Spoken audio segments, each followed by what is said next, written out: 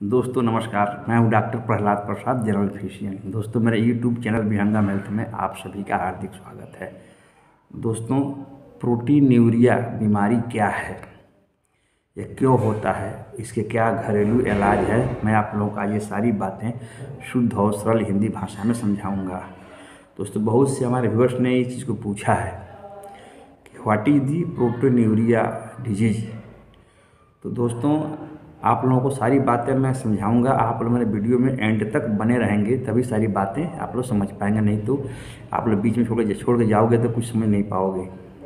बहुत सी ज़रूरी बातें मैं अंत तक बताता हूँ। दोस्तों, नए व्यूवर्स से रिक्वेस्ट है, गुजारिश है। प्लीज़ दोस्तों, आप लोगों के लिए मैं डेली ऐसे ही यूजफुल कंटेंट लाता रहता हूँ। आप लोग ज़रूर मेरे चैनल को सब्सक्राइब कर दो लाइक करो शेयर करो। और दोस्तों बेल दबा देना ताकि आने वाले हर वीडियो का नोटिफिकेशन पहले आपको मिले।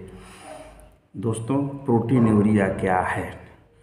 दोस्तों, ऐसे हर आदमी के यूरिन में कुछ ना कुछ अल्बुमिन जाता रहता है प्रोटीन जाता रहता है, लेकिन वह न्यूनतम से कम होता है तो वह आपके सेहत पर खास असर नहीं डालता है। लेकिन जब वही प्रोटीन आपके यूरिन में न्यूनतम से ऊपर चला जाता है, यानी ज़्यादा जाता है, यानी जब आपकी किडनी की क्षमता कमज़ोर पड़ जाती है ये ज़्यादा बीपी हाई होने से भी किडनी कमज़ोर होता है शुगर होने से किडनी कमज़ोर हो जाता है। तो ऐसे सूरत में किसी कारण से यदि किडनी कमज़ोर होता है किडनी में इन्फेक्शन होता है तो फ़िल्टर करने की क्षमता उसकी घट जाती है वो फिल्टरिंग कम करता है और प्रोटीन को बाहर निकालने लगता है पेशाब के रास्ते। तो जब न्यूनतम से ज़्यादा प्रोटीन यूरिन में जाता है तो उसे प्रोटीन यूरिया कहा जाता है, यानी आदमी को प्रोटीन जाने की बीमारी है अल्बोमिन जाने की बीमारी है। समझ गए?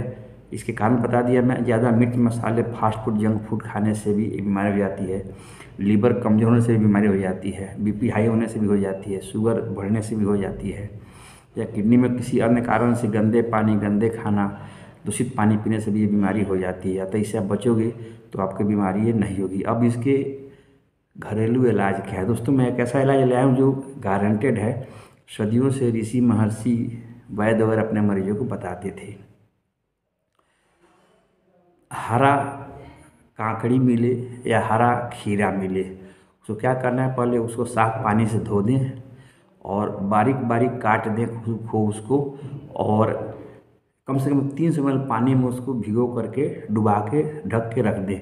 सुबह खाली पेट पीना है, डेली पीना है। दोस्तों दोस्तों, एक हफ़्ते के अंदर देखना आपकी प्रोटीन जाने की, यूरिन में प्रोटीन जाने की बीमारी आपकी नॉर्मल आ जाएगी। अगर ज़्यादा जा रहा है तो सुबह शाम पिए, लेकिन खाली पेट पिए, इसके पीने के बाद में घंटा तक कोई खाना आप नहीं खाएँगे। कांकड़ी भी वही काम करते कांकड़ी पियोगे काट काट के, दाल के भिगो करके, सुबह छान के पियोगे, तभी बहुत जल्दी प्रोटीन यूरिया को ठीक कर देता है।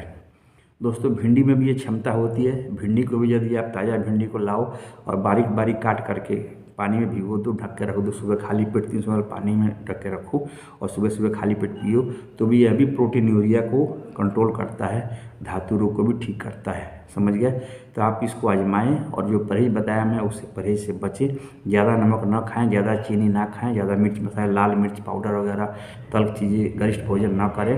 हल्का भोजन करें, सुपाच्य भोजन करें तो जल्दी ठीक हो जाता है और नहीं करने वालों की बीमारी भी हो जाती है। समझ गए? यदि आप लोग मेरा ये सलाह, वीडियो अच्छा लगा हो, ज़रूर चैनल को सब्सक्राइब करें, लाइक कर। चलिए, जय हिंद, जय भारत।